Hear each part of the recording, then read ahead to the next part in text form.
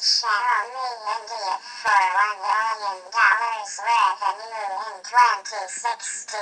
All the best for 2017.